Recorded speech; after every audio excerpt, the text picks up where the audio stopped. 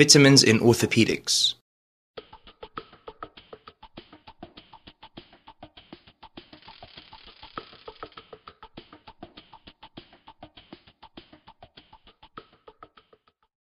Vitamin A.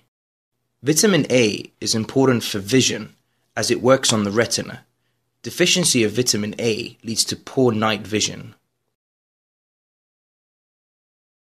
Vitamin A is also important for bone metabolism as it is a cofactor for PTH. It's also important for differentiation of immune cells and maintaining skin health. Vitamin A is found in dairy products, sweet potatoes, beef liver, and raw carrots. Vitamin B6 Vitamin B6 is important for the synthesis of mood boosting hormones such as serotonin. It makes you feel good. It also plays an important role in hemoglobin synthesis.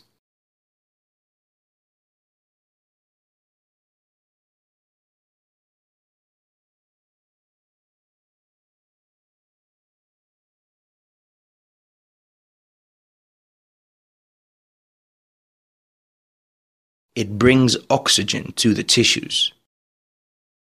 Vitamin B6 also helps you maintain a healthy immune system.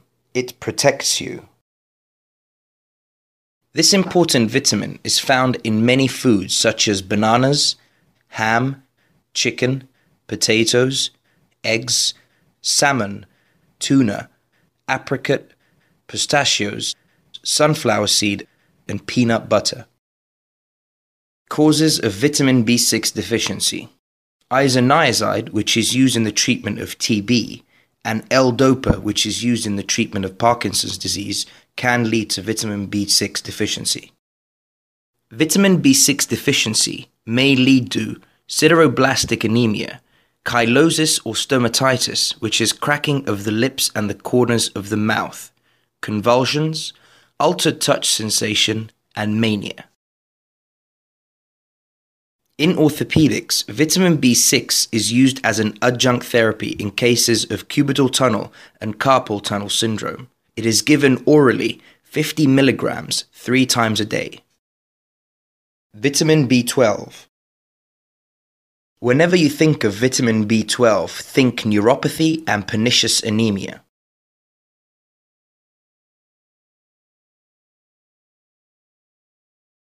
Vitamin B12 deficiency takes years to develop. Vitamin A, on the other hand, is stored in the liver for six months, while vitamin D is stored in the skin and fat for a duration of three months. Vitamin B12 is found in beef liver, clams, oysters, and tuna. Vitamin B12 deficiency leads to the accumulation of methylmalonic acid. High levels of methylmalonic acid leads to peripheral sensory neuropathy because it affects myelin formation. Vitamin B12 levels in the blood should be obtained in patients presenting with peripheral sensory neuropathy. The normal values are between 200 and 900 picograms per milliliter.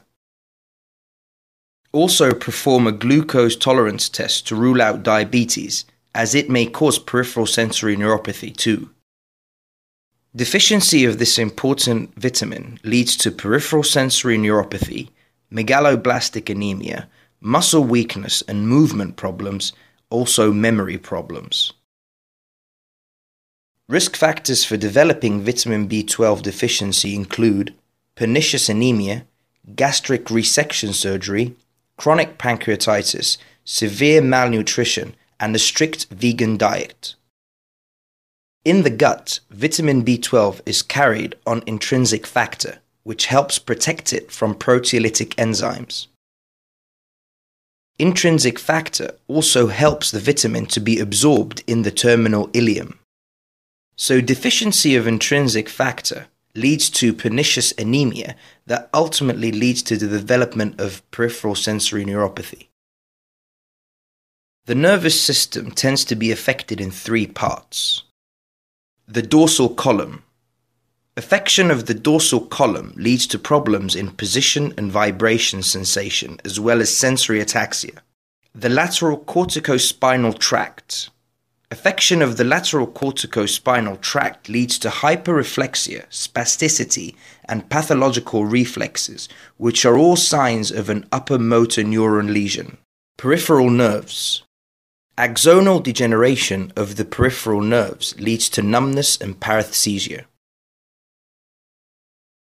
In pernicious anemia, the labs will show a mean corpuscular volume higher than 100, a low hemoglobin concentration, and low RBC count. Vitamin C Vitamin C is usually found in citrus fruits, green vegetables, and breast milk. Vitamin C is important for proper collagen synthesis. It is also required for the production of neurotransmitters. It protects the capillary lining of blood vessels and inhibits vascular permeability. Vitamin C is an antioxidant and enables iron absorption from the intestine. It also actively protects against osteoporosis. The deficiency of this important vitamin may lead to scurvy. Scurvy is characterized by spongy bleeding gums, loosening of teeth, and bleeding into the skin and mucous membranes. Low vitamin C levels lead to defective collagen synthesis, fragile capillaries, abnormal gum bleeding, and abnormal bone formation at the growth plates that leads to widening of the zone of provisional calcification. Vitamin C is used in orthopedics to reduce the risk of RSD following open reduction and internal fixation of distal radius fractures and foot and ankle surgery. The dosage used is 500 milligrams daily for 50 days, beginning the day after surgery.